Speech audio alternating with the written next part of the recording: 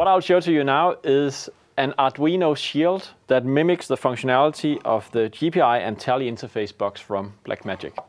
And the shield looks like this in a typical Arduino enclosure.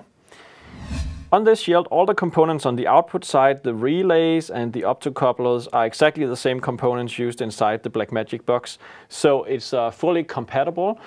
One thing that it doesn't have, this one, is the duplication of the Ethernet port. But it does have some additional features. And one of them is that you actually have a little um, LED that indicates which of these tally outputs are currently on program. So as you can see that I switch, you also see the small LED change.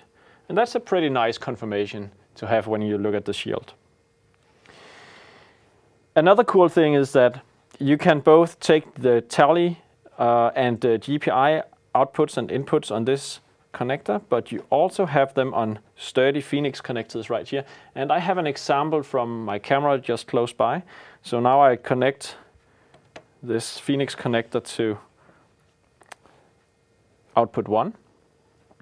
And I also take my power supply because the tally outputs of this box and this box as well is a closure to ground. So we need some power and when I apply power and you can see my camera now has a nice tally light over here and when I switch the tally light switches as well. Another cool thing about having your own GPI and tally box is that you can program your outputs exactly as you want them. And uh, instead of just showing program tally, you could imagine that you wanted to have preview tally as well. So if we look at this camera, you will see on the back side, there we have a box with a red and a green LED. And this is currently configured so that if um, camera one is on preview, you will actually see the green LED light, while if it's on program, you will see the red LED light. And this is simply by connecting an additional Phoenix connector to this one. So obviously the consequence is that you can now only have four cameras on this box, but you do have this additional information to your camera operator. So let's uh, turn on this. You can now see that since we have camera one on preview, we have the green LED. When we switch it back onto program, we have the red LED. You can see it is confirmed on the front right here. And we go back to preview and it's green.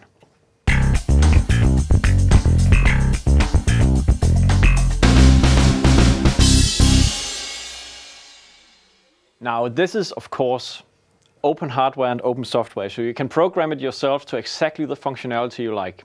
And one thing that I wondered about with this one, the last time I checked, and maybe there's a firmware upgrade now, but last time I checked, it did not feature any GPI. Excuse me if I was mistaken, but I couldn't make the GPI work. And what is GPI? GPI means general purpose inputs. So basically it's like you short two of these uh, pins in the connector, and it's supposed to send a command to the ATEM switcher. Of course, we can take control ourselves if we have our own box. So on this one, we have the GPI enabled. And by default, by the programming I've made, I just um, select that particular input for program. I'll just show you, but um, in order to do that, I'll use another product, which is this one. That's a breakout board that is compatible with this connector on both of these boxes. And now I'll just use it because I have no Phoenix connectors for my inputs. So when I connect this, I now have Phoenix connectors for all the inputs here. And um, then I have this tiny little button, push button, which I can now connect to one of the GPI inputs. And that will allow me to uh, switch my camera over here to program. So let's position this one. So we can see the camera, it has the LED for program here, and I put my button here. And when I press, the camera goes on program.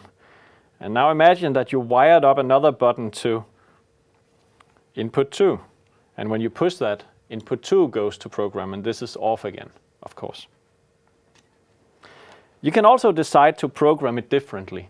Instead of switching to the input corresponding to GPI 1 through 8. You could also decide that when you push uh, or, or, connect GPI 2, then it would make a, an auto transition or it would enable the downstream keyer or any other thing that you can program with the ATEM library for the Arduino. So it's really, really flexible and you can imagine many ways you could, you could have a foot pedal. There are multiple options with this board. It's really cool.